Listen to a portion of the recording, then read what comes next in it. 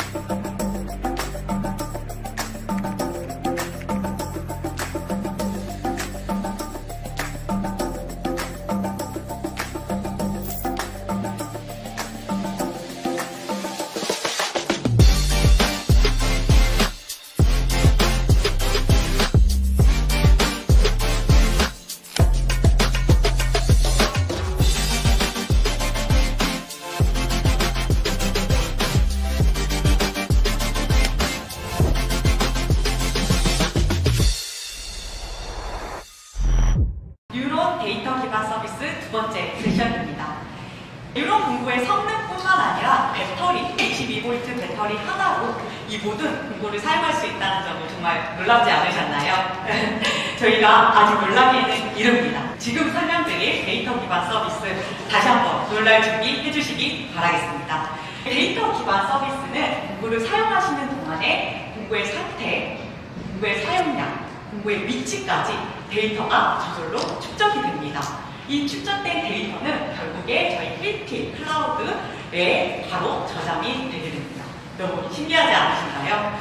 여기에서 하나 더 설명을 드리면 저희 이 데이터들이 어떻게 사용되고 그리고 실제로 어떻게 보여지는지 제가 하나씩 보여드리도록 하겠습니다. 첫 번째로는 데이터 사용량을 기반으로 해서 오랫동안 사용하지 않으셨던 제품이 바로 확인이 가능합니다. 오늘 여러 가지 제품을 한번 사용해 주셨는데요. 그 중에 보시면 두 가지 제품이 사용되지 않았습니다. 혹시 어떤 제품인지 감이 오시나요? 전혀 모르시죠? 제가 바로 보여드리도록 하겠습니다. 이 두 가지 제품 바로 임팩트 젤과 충전기 두 가지가 사용되지 않음을 확인하실 수가 있고요.